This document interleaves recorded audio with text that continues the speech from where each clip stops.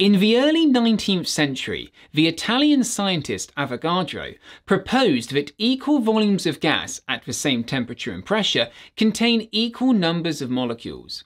In other words, equivalent amounts of different gases have the same volume at the same pressure and temperature. This proposal actually got picked up by scientists many years later and led to the idea of the mole, with the value 1 mole represents being called Avogadro's constant in honour of Avogadro and his idea.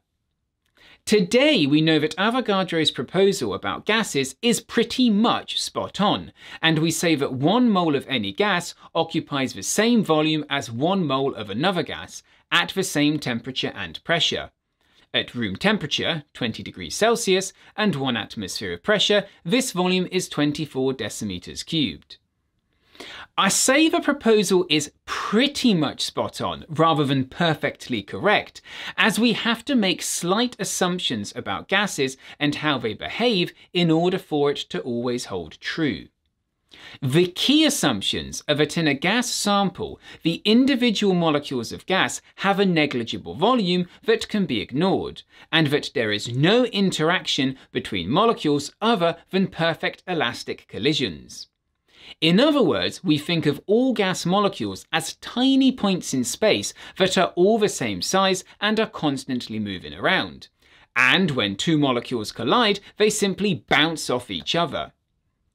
In reality, these assumptions aren't exactly how gases always behave, and as a result, we describe gases that are following these assumptions as ideal gases. We also assume that the molecules in a gas don't ever interact with each other apart from perfect elastic collisions. There are assumed to be no intermolecular forces between the molecules, regardless of how close they get to each other. Meaning if two collide, only kinetic energy gets shared between them, and the combined kinetic energy of both molecules is the same before and after the collision. Kinetic energy here just describes the energy that molecules have as they move.